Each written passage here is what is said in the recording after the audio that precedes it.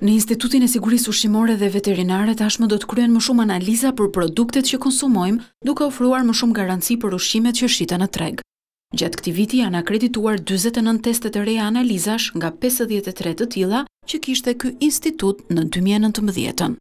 Zgjerimi i këtyre testeve të reja do të thotë besueshmëri e rezultatit karshi biznesit të Republikës së Shqipërisë dhe besueshmëri karshi konsumatorit i shërbejnë planit të monitorimit, rekomandimeve të Brukselit dhe mbështetjes të eksportit. Testet e reja përfshijnë kontrollin e mbetjeve të pesticideve në produktet me origjinë bimore dhe shtazore, përmes tyre identifikohen, histamina, aflatoksina, salmoneloza, enterobakteret, metalet e ndryshme, aciditeti i vajit të ullirit e të tjerë.